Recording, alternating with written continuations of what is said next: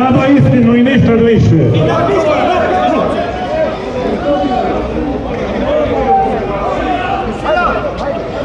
Momci, hvala vam za kišnjenje najprvo danas. Hvala vam za ovo što ste izdržali na ovakvom nevremenu i pod ovakvim pritiskom. Najprvo su nas htjeli izigrati.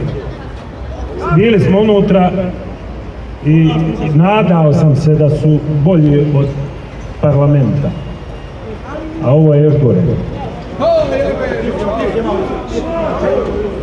Na kraju, kako smo god dogovorili, probali su da nas izigraju.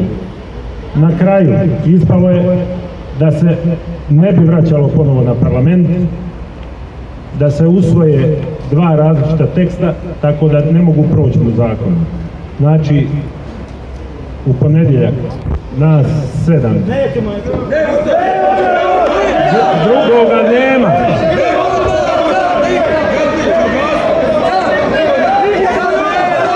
Nismo, ne, nismo ništa. Ništa nam nisu dali.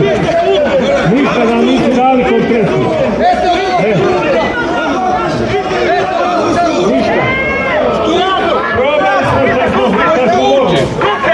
Nema ništa. Nismo kupili. Nema ništa.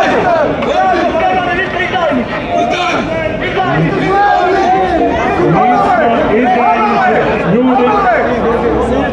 Sačekamo, sačekamo. Sačekamo. Najlakše je bilo to, dva puta sam gužbu napravio unutra. U zakon je usvojen sa našim amandmanima. Iđe samo korekcija.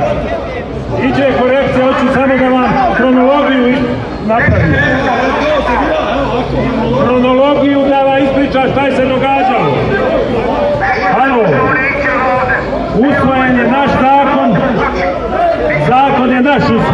ali će biti male korekcije njega.